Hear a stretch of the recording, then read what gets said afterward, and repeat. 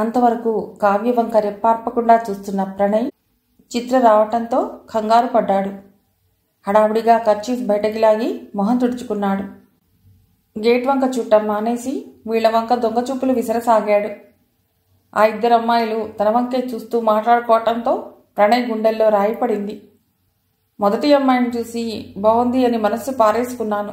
ఇప్పుడు ఈ రెండో అమ్మాయి కనుక ఆ బాబాయ్ కొడుకు గారి ఆస్ట్రేలియా కూతురైతే తన పని గోవింద అనుకున్నాడు ప్రణయ్. అలా అయితే మొదటి అమ్మాయికి తనపై అసలు ఇంట్రెస్ట్ ఉండదు. తనకి తెలిసిన ఫ్రెండ్కో కజిన్కో వచ్చిన సంబంధాన్ని ఆశపడటం బాగుండదు అని తన మానస చోరణి అనుకోవటం సహజం. ఈ ఇద్దరికి ఆ బాబాయ్ కొడుక్కి ఏదో రిలేషన్ ఉండి ఉండాలి. లేకపోతే తన వంక ఎందుకు చూస్తున్నారు? అనుకున్నాడు ప్రణయ్ చేదుగా. జీవన్ ఎందుకు నర్వస్ అవుతున్నాడు? కొంచెం దగ్గరికి ఎడదామా అంది చిత్ర ముందుకు నడుస్తూ. చిత్ర అతడిని అప్పుడే జీవనని ఎలా కన్ఫర్మ్ చేస్తున్నది? ఇతడు జీవన్ కాకపోతే బాగుండు అని అనుకుంటూ కావ్య ఆమెను అనుసరించింది. వీళ్ళు దగ్గరవుతున్న కొద్దీ ప్రణయ్ కంగారు పెరగసాగింది. దొంగచూపుల ఫ్రీక్వెన్సీ పెరిగింది. అతడికి పదిహేను అడుగుల దూరానికి వెళ్ళాక చిత్ర హఠాత్తుగా ఆగి పగలబడి నవ్వసాగింది. ఏ ఏమిటా నవ్వులు? అతడేమనుకుంటాడు? గదమాయించింది కావ్య. నువ్వింకా గమనించలేదా? బాబోయ్ నవ్వు ఒప్పుకోవటం నా వల్ల కాదు అంది చిత్ర నవ్వుతూ. చిత్ర నవ్వుతో ప్రణయ్ కంగారు ద్విగుణీకృతమైంది తను జోకర్ అయినట్లు ఆ రెండో అమ్మాయి నవ్వుతున్నది. ఇప్పుడు మొదటి అమ్మాయి కూడా అలా నవ్వితే ఆత్మహత్య ఎలా చేసుకోవాలి అన్న సమాచారం నెట్లో వెతకటం బెటర్ అనుకున్నాడు. ఈలోగా చిత్ర ఏదో రహస్యం చెప్తున్నట్టు కావి చెవిలో గుసగుసలాడింది. ప్రణయ్ మొహం పాలిపోయింది. తన పైన జోకులు వేసుకుంటున్నారు. ఇంత షోక్గా తయారయ్యాడా? మంచి ఖరీదైన షూస్ ధరించాడా? రెండు షూస్ థళథళలాడుతున్నాయా కానీ ఒకటి బ్లాక్ షూ ఇంకొకటి బ్రౌన్ కలర్ చిత్ర పుట్టబట్టుకుంది నీట్గా తయారై పెళ్ళికి వచ్చిన వ్యక్తి ఒక కాలికి బ్లాక్ షూ ఇంకో కాలికి బ్రౌన్ షూ ఉంటే నవ్వాపుకోవటం కష్టం అని కావ్య కూడా తెలిసింది. స్నేహితురాలతో కలిసి నవ్వింది. కానీ మరీ ప్రణయ్కి కనబడేటట్లు నవ్వకుండా జాగ్రత్త తీసుకుంది. నాకు సందేహం లేదే. ఇలాంటి కంగాళీ వ్యక్తి కాబట్టే సుమని లవ్ చేస్తున్నాడు అంది చిత్ర మామూలు స్థితికి వస్తూ. అతడు ఇలా చిత్రాతి చిత్రంగా రెండు రకాల బూట్లు వేసుకోవటానికి కారణాలు గెస్ చేద్దామా? ఏ అతడికి కలర్ బ్లైండ్నెస్ ఉంది. బి ఇలా డిఫరెంట్గా వస్తే అటు శనిని ఇటు కుజుణ్ణి ఇంప్రెస్ చేయవచ్చు. అని ఎవరో జోస్యం చెప్తే ఫాలో అవుతున్నాడు. సి అతడికి బ్లాక్ అంటే ఇష్టం సుమకి బ్రౌన్ ఇష్టం. Two birds at one shot అన్నట్లు ఇద్దరి ఇష్టాలు తీరేందుకు. డి పాపం అతడిపైన మరీ ఇన్ని జోకులా? అనుకుని పాపం అతడు హడావిడిగా తయారై వచ్చాడేమో మనం ఎగతాళిగా నవ్వటం బాగుండదు అసలు సంగతి అతడికి చెప్పాలి అంది కావ్య. కావ్య మొహంలోకి లోతుగా చూసింది చిత్ర. మిస్ కావ్య అతడిపైన నీకంత జాలెందుకు కలిగింది? అతడు సుమ క్యాండిడేట్ అయ్యే అవకాశాలు ఎక్కువ. అది గుర్తుంచుకో. చిత్ర చిలిపిగా ఉంది. అతడు సుమ క్యాండిడేట్ అయితే ఏమిటిట? కాకపోతే ఏమిటిట?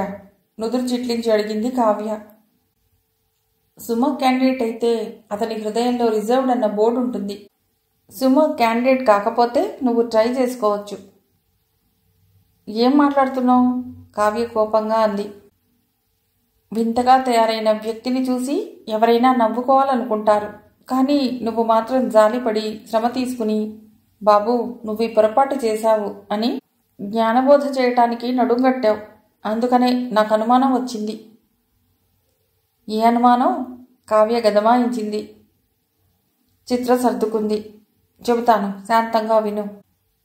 మ్యారేజ్ హాల్లోకి అడుగుపెట్టి నువ్వు అన్న మొదటి మాట గుర్తుందా? చాలా టైం ఉంది. ఏం చేయాలి? అని ప్రశ్నించావు. అవును అయితే అయోమయంగా అడిగింది కావ్య. అంతకు మునుపు కారులో నేను సింపుల్గా ఎందుకు ప్రేమించలేదు కావ్య? అని అడిగితే నువ్వు సింపుల్గా టైం లేక ప్రేమించలేదు అని చెప్పావు. టూ ప్లస్ టూ ఫోర్ కదా? ఇప్పుడు టైం చాలా ఉంది కాబట్టి ప్రేమించాలని నువ్వు డిసైడ్ అయ్యావేమో అన్న లెక్క కట్టాను. టూ ప్లస్ టూ లెక్క కరెక్టే ఈ లెక్క కరెక్టే కదా? అఫెన్స్కి మించిన డిఫెన్స్ లేదని కావ్య నమ్మకం. కావ్య పాలసీ కూడా. ఒకసారి చిత్రవంక తీక్షణంగా చూసి తల తిప్పి ఆ యువకుడిని చూపులతో పరామర్శించింది కావ్య. మెల్లిగా చిత్రవంక తిరిగి your absolutely right miss Chitra నాకు టైం ఉంటే ప్రేమించాలని అనుకుంటే బహుశా ఇతడిని ప్రేమిస్తానేమో. అలా కాదు ఇంకా బాగా చెప్పొచ్చు. నేను ప్రేమించడానికి ఇతడి కన్నా బెస్ట్ క్యాండిడేట్ ఉండడు. అందుకనే వెళ్ళి బాబు చెర్రీ బ్లాజంతో చళచళలాడేలాగా బూట్లు పాలిష్ చేసుకోవడం కాదు. బుర్ర దగ్గరుంచుకుని బూట్లు వేసుకోవాలి అని క్లాస్ తీసుకుంటాను. వెరీ గుడ్ నువ్వు వెళ్ళు. దగ్గరగా చూసి నేను నవ్వు హప్పుకోలేను మొహం మీద నవ్వితే బాగుండదు అంది చిత్ర. కావ్య ప్రణయ్ని సమీపించింది.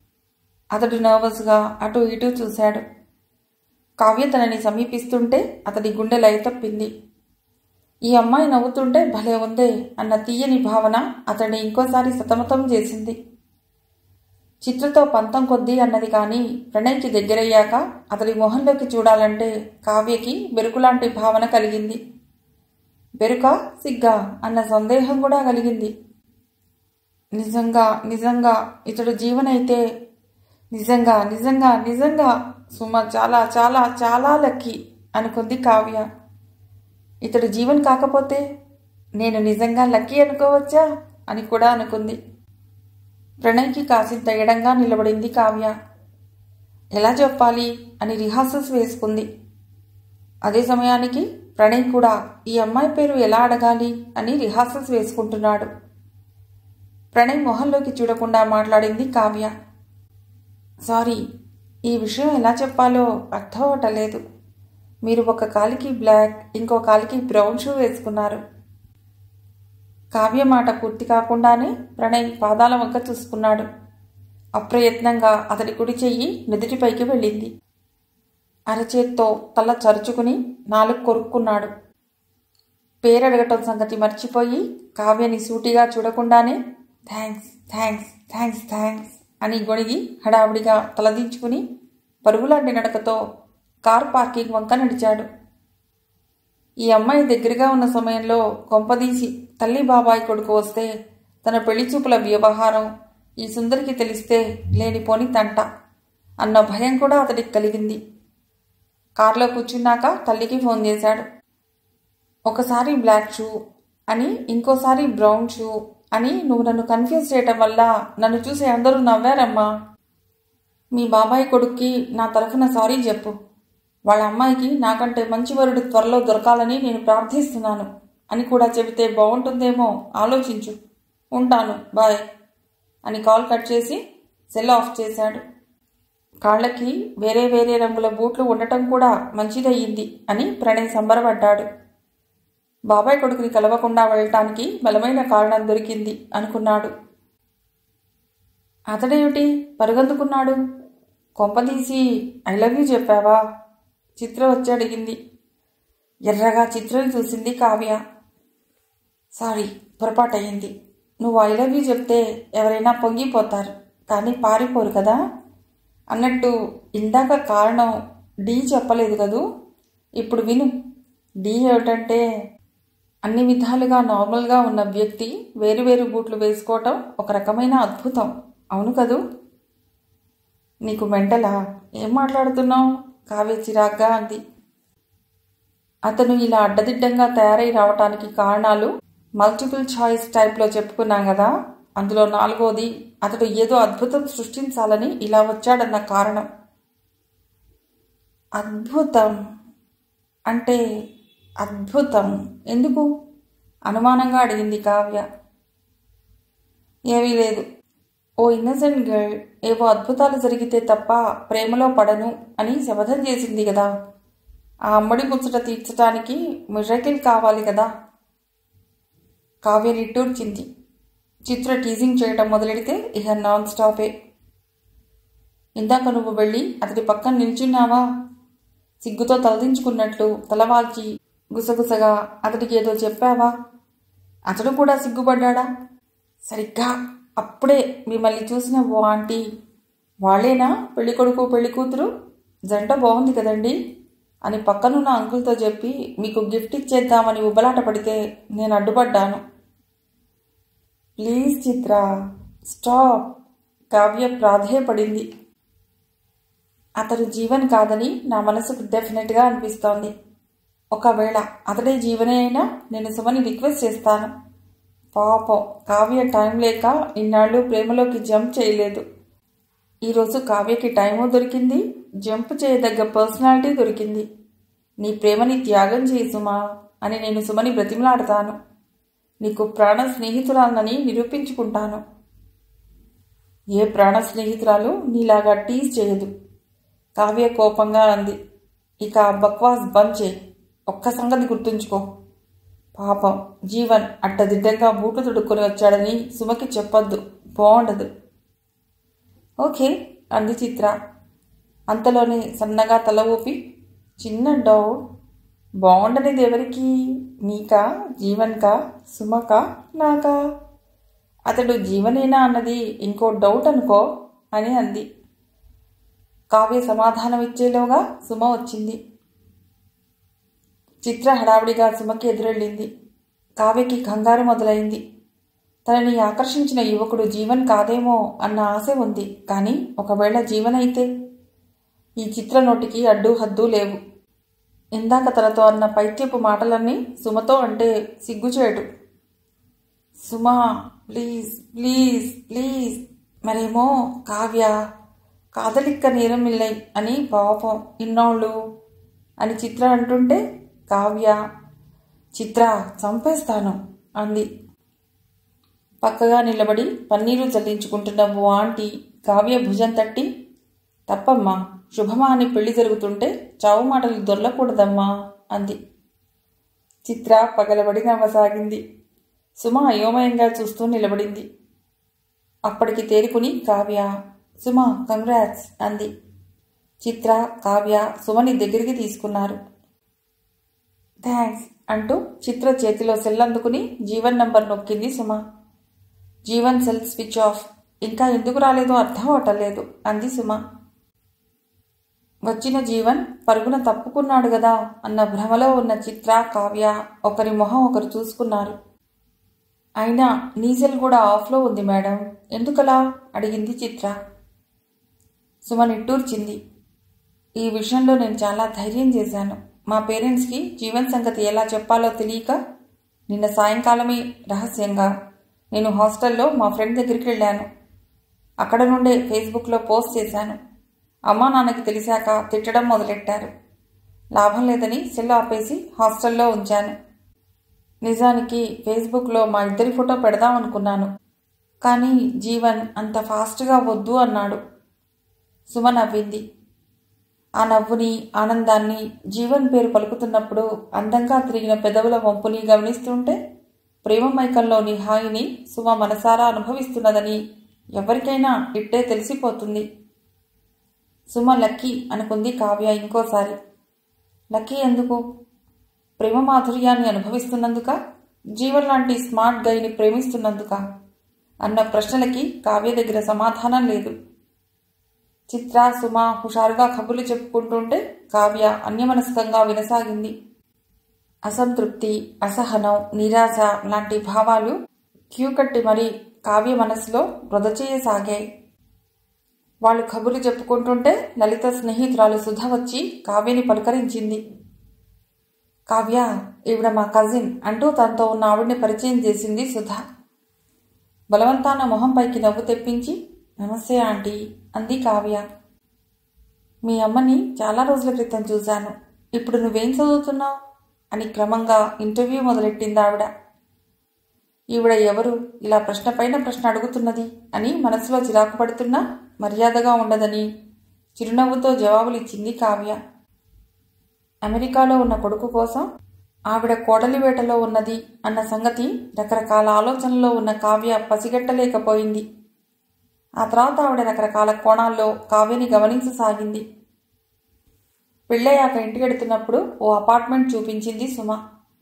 ఇదిగో ఇందులోనే జీవన్ ఉంటాడు అని చెప్పింది. ఇఫ్ యూ డోంట్ మైండ్ నేను ఇక్కడ దిగుతాను. One more thing. నేను మిమ్మల్ని కలిసినట్టు మీ పేరెంట్స్కి చెప్పకండి. వాళ్ళ ద్వారా మా వాళ్ళకి తెలిస్తే నాకు తంట. అయితే మాకు జీవన్ని చూపించవా? అల్లరి చేద్దామని అడిగింది చిత్ర. చూపిస్తే బాగుండు ఆ యువకుడు జీవన అవునో కాదో తెలుసుకుంటే సంతాపం ప్రకటించాలో సంబరం ప్రకటించాలో అర్థమవుతుంది అనుకుంది కావ్య. ప్లీజ్ అండర్స్టాండ్ ఇప్పుడు కుదరదు. అంది సుమ మెత్తగా. All the best Suma. Chitra Kavya అన్నారు. సుమ వెళ్ళాక కారు కదిలింది. చిత్ర సుతారంగా కావ్య భుజం తట్టింది.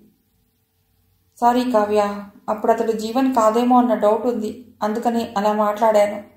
ఇప్పుడు అతడు మాయమవ్వటం జీవన్ రాకపోవటం కలిపి లెక్కగడితే అతడే జీవన్ అని అనిపిస్తున్నది. అంత ఫులిష్ పని చేశాక మొహం చెల్లక అతడు సెల్ కూడా స్విచ్ ఆఫ్ చేశాడనుకుంటాను అంది చిత్ర. అవునన్నట్లు తల ఊపింది కావ్య. అవును అనుకుంటే ఇంకోసారి దిగులుగా అనిపించింది. నిమిషం తర్వాత నాకెంత కుళ్ళుగా ఉందో తెలుసా? అర్జెంటుగా ఎవరినైనా ప్రేమించాలి. ఎలా? చిత్ర రెండు చేతులు సాచి అడిగింది. నీకు నాకు ఆ ప్రశ్న అవుట్ ఆఫ్ సిలబస్ లాగా టఫ్గా ఉంది. మనం సుమ దగ్గర కోచింగ్ తీసుకోవాలేమో అంది కావ్య సాలోచనగా. చూసావా నీకు ప్రేమ అంటే ఇంట్రెస్ట్ కలిగింది? అంటే నీకు కూడా ప్రేమలో పడాలనుందా ఎస్ అండ్ నో అంది కావ్య పొడి పొడిగా. భలే ఆన్సర్ ఇచ్చావు. అంటే? మనసులో ఉన్నది ఇప్పుడు చెప్పే ప్రశ్నే లేదు. మరి ఏం చెప్పాలి? ఎలా చెప్పాలి? కొన్ని క్షణాల ఆలోచన తర్వాత కావ్య చెప్పింది. ఇప్పుడు మన వయసులో ఎంతో కొంత అమాయకత్వం ఇంకా మనలో మిగిలి ఉంది. ఇంకో రెండేళ్ళ తర్వాత మూడేళ్ళ తర్వాత ఆ అమాయకత్వపు ఛాయలు ఆవిరయ్యాక సుమలాగా అన్నీ మరిచి తలమునకలుగా ప్రేమలో పట్టం ఉంటుందా? లేక y is equal to mx plus c అని లెక్కలు వేసి గ్రాఫ్లు వేసే క్యాల్కులేటెడ్ ప్రేమలో పడతామా అన్నది నన్ను ముల్లులాగా ప్రశ్నిస్తున్నది.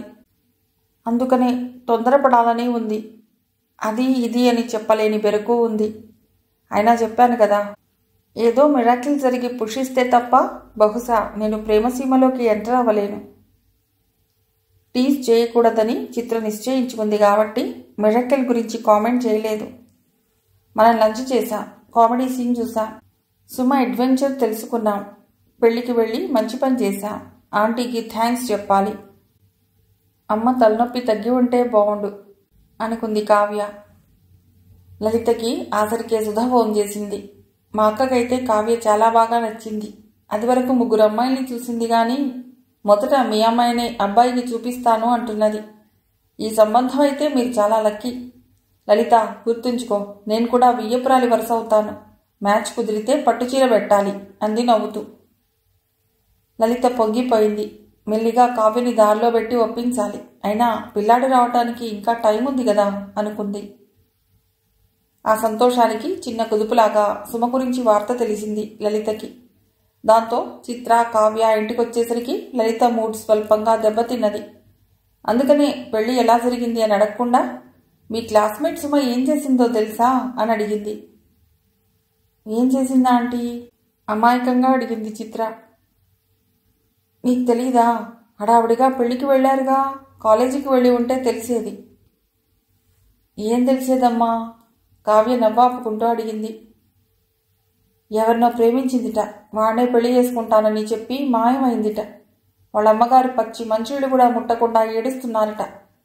పిల్లలకి తల్లిదండ్రుల బాధ ఎప్పటికర్థమవుతుందో? అమ్మా నువ్వు ఒక సైడ్ స్టోరీ విని అది ఇది అని ఓ అభిప్రాయానికి దూకేయకు. అప్రయత్నంగా కావ్య జోక్యం చేసుకుంది. లలిత కూతురి వంక అనుమానంగా చూసింది. నీకు ఇంకో సైడ్ స్టోరీ. అంటే సుమ సైడ్ స్టోరీ తెలుసా? ఎలా తెలుసు? అబ్బా అమ్మా నువ్వు పెడద్దాలు తీయకు. సుమ మా క్లాస్లో వెరీ ఇంటెలిజెంట్ స్టూడెంట్. దానికి ఇరవై ఏళ్ళు దాటాయి. మరీ ఫూలిష్గా చేయదు కదా. ఒక్క క్షణం లలిత కూతురి కళ్ళలోకి లోతుగా చూసింది. ఇరవై ఏళ్ళు దాటితే పిల్లలకి కొమ్ములు వస్తాయా? రెక్కలు కట్టుకుని ఎగిరిపోతారా? ఇరవై ఏళ్ళ పిల్లల తల్లిదండ్రులకి బుర్రలుండవా? ఆంటీని శాంతపరుద్దామనుకుని చిత్ర కలుగజేసుకుంది. ఆంటీ ఒక్క గంట సేపు కావ్యాన్ని మా ఇంటికి తీసుకెళ్ళనా? ఊహించని దిశలో చిత్ర అడగటంతో లలిత ఫోర్స్ కొంచెం తగ్గింది కానీ మాటల్లో పదును తగ్గలేదు. మీ ఇద్దరికీ ఇరవై ఏళ్ళు దాటే ఇంకా నా ముసలి ప్రమోషన్ ఎందుకు చిత్ర? కాదా ఆంటీ మా మమ్మీ కూడా మీలానే క్రాస్ ఎగ్జామిన్ చేస్తే కావ్య నా పక్కన ఉండి సాయం చేస్తుందేమో అని చిత్ర వాక్యం పూర్తి చేయకుండా ఆగింది. లలిత గతుక్కుమంది నేనేమన్నాను? ఏం క్రాస్ ఎగ్జామిన్ చేశాను? అది కాదమ్మా. సుమ కేసులో ఏమైందో సరిగ్గా తెలుసుకుని నువ్వు కామెంట్ చేయి. No problem. జరిగిందేమిటో అస్పష్టంగా కొంచెం కొంచెం అర్థం చేసుకుని ఇరవై ఏళ్ళు దాటమే క్రైమ్ లాగా ఇలా ఇరవైలో ఉన్న మేమేదో నేరస్తులం అన్నట్లు లెక్చర్ ఇస్తే ఎలా అమ్మా? కావ్య మెత్తగా అంది. ఆ తర్వాత లలిత మాట్లాడలేదు. కానీ అమెరికా సంబంధానికి కావ్యను ఎలాగైనా ఒప్పించాలి అన్న పట్టుదల మాత్రం ఆమెకి పెరిగింది. ఆ రాత్రి భర్త రఘు కాలేజీ నుండి లేటుగా వచ్చాడు. రావటం రావటం చాలా అలసటగా ఉందన్నాడు. అప్పుడు అతడితో అంత సీరియస్ విషయం మాట్లాడటం సబబు కాదనుకుని ఊరుకుంది లలిత. రాత్రంతా ఆలోచించి ఆ మర్నాడు పొద్దున్నే భర్తని కదిపింది. కాఫీ గురించి మీతో ముఖ్యమైన సంగతి మాట్లాడాలి లలిత అంది. కాఫీ కప్ అందించి రఘు పక్కన కూర్చుంటూ కూతురి పేరు వినగానే అటెన్షన్లోకి వచ్చాడు రఘు. చెప్పు చెప్పు. కావ్య చక్కగా పీజీ చదువుకుంటున్నది. ఇప్పుడు అర్జెంటుగా మనం చర్చించవలసిన విషయం ఏముంది? పెళ్ళి సంబంధం. ఠక్కున అడ్డు తగిలాడు రఘు. నీకు గుర్తుందా? కావ్య ఎంఎస్సీలో చేరేటప్పుడు మన ఇద్దరి దగ్గర నుండి మాట తీసుకుంది. తన చదువు పూర్తయ్యేటంత వరకు పెళ్ళి గురించి కానీ సంబంధాల గురించి కానీ మనం మాట్లాడకూడదు అని అడిగితే మనం ఒప్పుకున్నాం. ఆ సంగతి మర్చిపోయావా? గొంతు తగ్గించమన్నట్టు సంజ్ఞ చేసింది లలిత. నిజమే మనం ఒప్పుకున్నాం కానీ ఇది చాలా మంచి సంబంధం. అయినా కావ్యతో అన్న మాటకి మరీ అంత సీరియస్గా కట్టుబడి ఉండాలా ఏమిటి? బోలుగా నవ్వాడు రఘు. అన్న మాటకి కట్టుబడి ఉండాలా? అందులో మన అమ్మాయితో అన్న మాటని సీరియస్గా తీసుకోవాలా అన్నది వెరీ గుడ్ ఆర్గ్యుమెంట్ కానీ ఒకటి ఆలోచించు. ఎవరినైనా ప్రేమిస్తే ఆ సంగతి బయటవారి కంటే ముందుగా మనకి చెప్పమని కావ్య నుండి మాట తీసుకున్నాం. కావ్య కూడా నీలాగే మమ్మీ డాడీకి ఇచ్చిన మాటకి సీరియస్గా కట్టుబడి ఉండాలా అనుకున్నదనుకో అప్పుడు నీకెలా ఉంటుంది? సుమ కూడా అలాగే ఆలోచించిందా? కావ్య చెప్పినట్టు సుమ సైడ్ స్టోరీ వింటే ఇలాంటి సంగతి తెలిసేదా? ఇబ్బందిగా కదిలింది లలిత. ఒప్పుకుంటాను కానీ ఇది చాలా మంచి సంబంధమట మళ్ళీ మళ్ళీ ఇలాంటి అవకాశాలు రావు. అబ్బాయి చక్కగా ఉంటాడు. అమెరికాలో మంచి ఉద్యోగం అట. మంచి కుటుంబం. చూస్తూ చూస్తూ వదులుకోలేం కదా. ఏం చేయాలి? పరిష్కారం చెప్పండి అంటూ పూర్తి వివరాలు చెప్పింది. రఘు ఆలోచనలో పడ్డాడు. నువ్వన్నట్లు ఆలోచిస్తే ఏదో ఒక మంచి పరిష్కారం తట్టకపోదు. కానీ నువ్వు మాత్రం త్వరపడి కావ్య దగ్గర ఈ ప్రసక్తి ఈ రోజే తీసుకురాకు. రేపటికి ఏదో ఒక ఆలోచన చేద్దాం. లలిత తల ఊపింది. ఇద్దరూ కొంచెంసేపు మౌనంగా ఉండిపోయారు. నిమిషం తర్వాత పైనుండి పరుగున మెట్లు దిగుతూ వచ్చింది కావ్య. అమ్మా బ్రేక్ఫాస్ట్ ఏమిటి? అంటూ ల్యాండింగ్ దగ్గరే ఆగింది. మీరిద్దరూ ఏమిటి అంత సీరియస్గా ఆలోచిస్తున్నారు? భార్యకి మాత్రమే కనబడేటట్లు సన్నగా కన్ను కొట్టాడు రఘు. గొంతు సవరించుకుని ఏమీ లేదమ్మా. ఓ సమస్య వచ్చింది. ఏం చేయాలో అర్థం అవటలేదు కావ్య వడివడిగా మిగిలిన మెట్లు దిగి తండ్రి కుర్చీ పక్కన నేలపైన కూర్చుంది. సమస్య ఏటో చెప్పు నాన్న. చిటికెలో సాల్వ్ చేస్తాను. చిటికెలోనా? నిజంగానేనా? లలిత అడిగింది. నిజంగానే. చిటికెలోనే. అయితే ప్రాబ్లం ఏమిటంటే నాకు చిటిక వేయటం రాదు. కావ్య మాటలు పూర్తవుతుండగానే ఆమె నవ్వులలో ఆ ఇద్దరూ కూడా పాలు పంచుకున్నారు. నీకు ప్రామిస్ చేశాం కావ్య. దాంతో మాకు ఇప్పుడు ఇబ్బంది వస్తున్నది అంటూ మొదలుపెట్టి అమెరికా సంబంధం గురించి వివరించాడు రఘు. వచ్చిందా? చాలా మంచి సంబంధం. కానీ మన ఒప్పందం ప్రకారం ఇప్పుడు నీతో పెళ్ళి ప్రసక్తి తీసుకురాకూడదు. ఏం చేయాలో పాలుపోవటం లేదు భర్త వంక అభినందనపూర్వకంగా చూసింది లలిత. చాలా సున్నితంగా కావ్యకి కోపం వచ్చే అవకాశం లేకుండా చక్కగా సంగతి చెప్పాడు రఘు.